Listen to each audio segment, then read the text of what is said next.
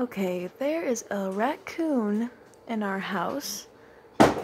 Oh, he's falling. He, he fell. Yep. He's just watching me. Yeah, he's pretty close. He's checking his surroundings.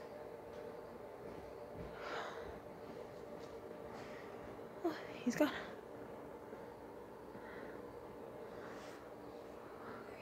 He left.